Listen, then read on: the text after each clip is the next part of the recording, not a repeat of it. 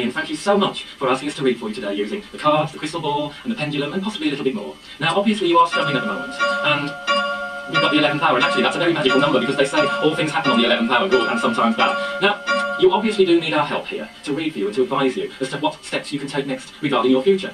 I've got the cards here, and I'm going to shuffle them, thinking of you and you alone, and thinking of your question when you first wrote to us here, asking for help because you were totally and utterly confused. Now, I have stopped there, and I'm going to cut them into three. And I'm trying to link in with you now and think, which ones would you like me to choose out of that, that, or that? And I'm zooming in here for the centre ones. Into your reading, Stephanie, let's really hope we can get you somewhere.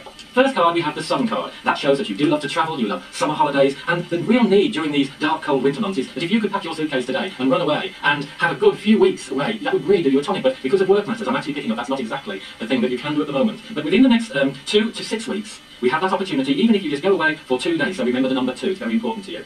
I'm looking at the sun card and I'm thinking, hmm, things aren't quite so sunny and happy within your relationship. So let me turn over another card so we can get a better picture.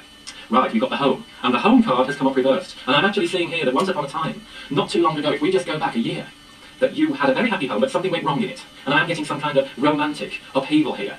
Okay, let's look at card number three, because I don't feel you're actually in the home at the moment. You're right home. It's as though you don't know where you are, where you're going, you're lost. And that's why you've called us. The Ace of Wands. Now, I said Wands are regarding work matters, and this is an Ace of Wands, and Aces represent what can happen within the next calendar year. Now, in, within this next year, you're going places, regardless of the credit crunch and people losing jobs and homes, you've got security there. But what you haven't got security with is your emotions, and you don't know what to do. Card number four.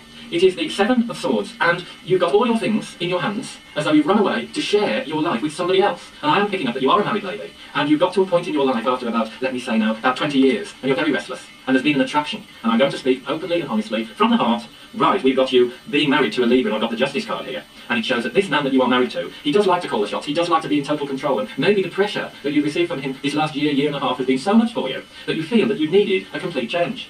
Now, I wonder if we could zoom into this card. This is one of those, like I said when the clock was chiming 11, good and bad. This is a very dark, gloomy card, and there you are, lying there, feeling stabbed in the back.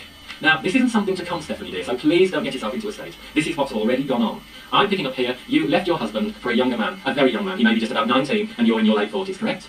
Now you don't know what to do. You've already realised that he stabbed you in the back, this young man, this lover, who I would say was very, very attractive to you, and you to him, and he was a breath of fresh air. But the only person that's really gotten hurt within this emotional crisis is yourself. And now you don't know what to do, which is why the Sun card says you want to run away. But you can't do it, can you? It's not easy. Let's see what the solution can be. It's not going to work. I'm sorry, this relationship with this younger man, it's fizzled out already, and I'm not happy for you because I do feel for you. And here at Psychic YouTube, we're not here to judge. We all make mistakes, and we'll always make a few more. And we're not that enlightened, because if we were, we'd be floating on a cloud somewhere.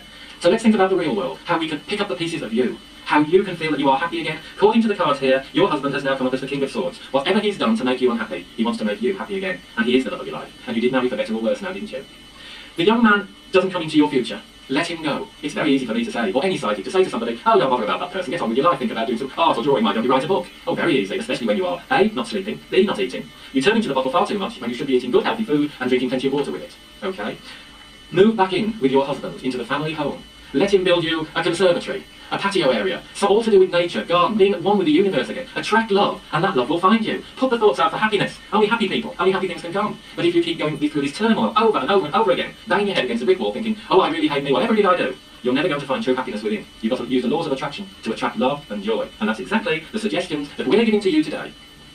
We see you moving back into the family home. We see your young man fizzling out. You'll get over it. Trust me. Allow your husband to take you by the hand and lead you to pastures new. Because I see a new home life, and as though you're courting again, and take that cruise. You wanted to start from Mallorca and end up at Sardinia. Book it now.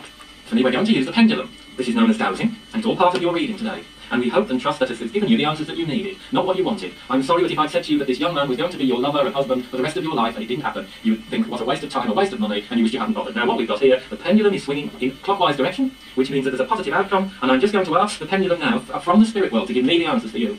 Is this young man right for you? Ah, he's slowing down. Look at that. Now you can see I'm no magician, I don't twiddle my fingers, I'm just letting spirit give me that answer for you. Is this young man the right one for you? No. So he's going anti-clockwise. Thank you. Always remember to thank spirit. Okay. Is your husband your true soulmate? and we get yes instantly. So that's another little example for you. Um, I'm picking up here that you have lost your mother and you haven't had a lot of contact from her lately. I'm getting some uh, a bunch of flowers, pale blue irises, uh, pink, very pastel pink flowers, a pastel pink rose, and they're being placed on the table as you and your husband eat an evening meal, and that's coming up quite soon. And I'm also getting that you'll smell a very heavy perfume that she used to wear all the while, and I'm getting the Eiffel Tower, and that's telling me Yves Saint Laurent it's Paris. How will that do for starters? Stephanie, that's come from my heart, from the spirit world, using my psychic gifts to help you, and that's what we're here for. God bless you.